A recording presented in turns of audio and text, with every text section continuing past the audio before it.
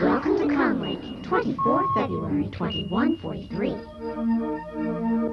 Unconfirmed reports are surfacing of a mysterious humanoid presence in the virtual reality net, one which does not conform with any known program. Comlink suspects that it may be a computer virus illegally entered by hackers and is looking into the situation.